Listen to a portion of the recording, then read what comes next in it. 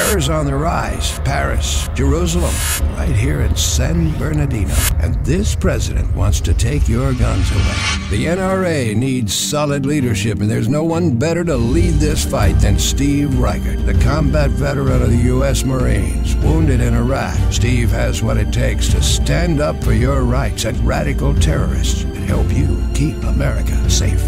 I'm Steve Reichert, and I'm asking for your vote for the board of directors of the NRA. Join me to defend America.